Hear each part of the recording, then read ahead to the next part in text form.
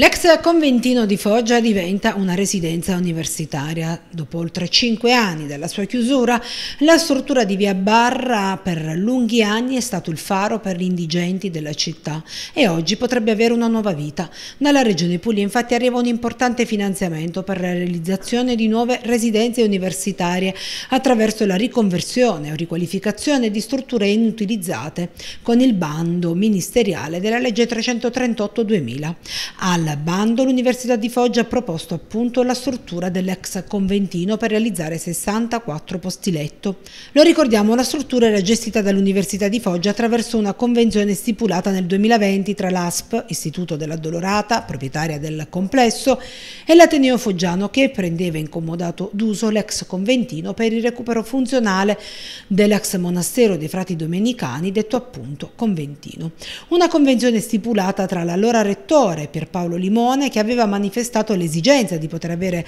spazi più idonei al diritto allo studio dove poter realizzare appunto residenze universitarie oltre agli altri servizi indispensabili.